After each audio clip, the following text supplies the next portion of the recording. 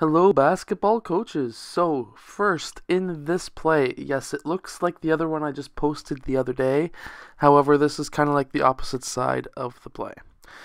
So, first in this basketball play, we're going to have player 4 set a screen on player 5. 5 will then cut towards the rim, and he could receive the pass. Next, one will then use player 4 as a screen cut towards the baseline as well. He could be open for the layup. And then after that, 3 will use 4 as a screen as well. 3 gets the ball.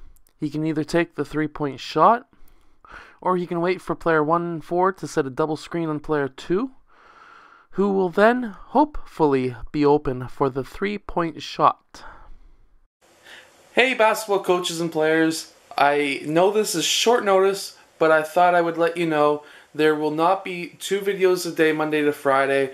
Over the next two weeks, starting tomorrow, something has come up. I'm unable to make two videos a day. I can only make one. But there will still be 7 a.m. videos for all of you early birds.